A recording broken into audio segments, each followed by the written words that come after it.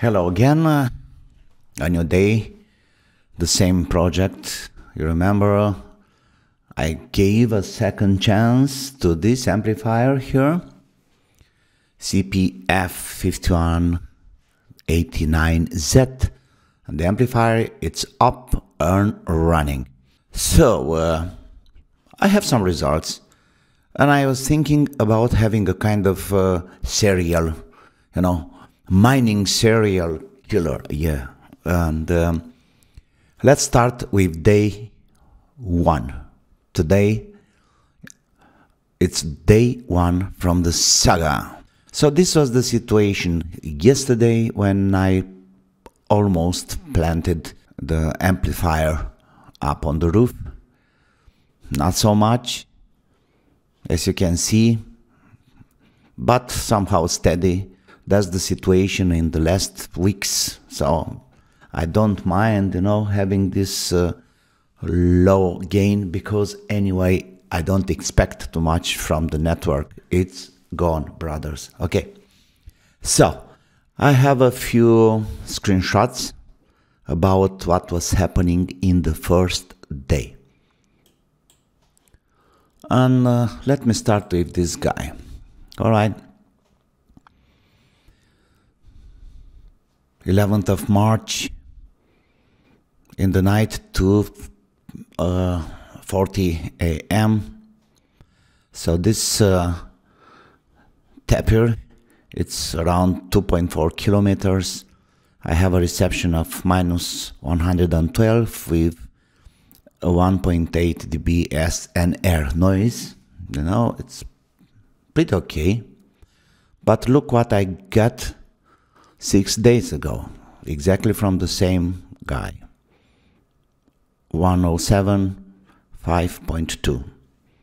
Clear, better. Very clear, better. Okay, so this is just a sample, 2.4 kilometers, remember this? Okay, Mr. Tardigrade here, 9.7 kilometers away, 11 of March, minus 18.8, minus 137. Uh, what I got, in fact, uh, 3rd of March, minus 123, better noise level, and so on. Clear. That's the situation for today. We'll talk about this at the end of the things. 8.2 kilometers away, minus 120, and minus 15.2. You know, today it was much better than this eight days ago. Well, this is an improvement, but only one. Ladybug, 20 kilometers away,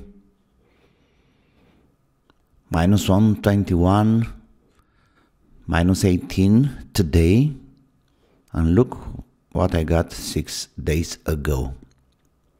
Minus 12 noise, and the signal minus 122. Better days ago, of course. So far, I just got one witness with better results than before. Mr. Kester here, I don't want to talk anymore. You can see it very clear 139, 131. That's it. Oh, I'm sorry. The left side is with amplifier. And here is something interesting. I didn't realize until today because I'm never checking these things, you know. Now I'm trying to have this experiment as, how can I say, as professional as possible, you know, day by day for at least, let's say, four or five days. Depends of you. When you when you feel like it's no more worth it, I'll just finish. Okay. Uh, that's supposed to be my neighbor. So here's Bobcat, Mr. Bobcat here. We are in the same hex.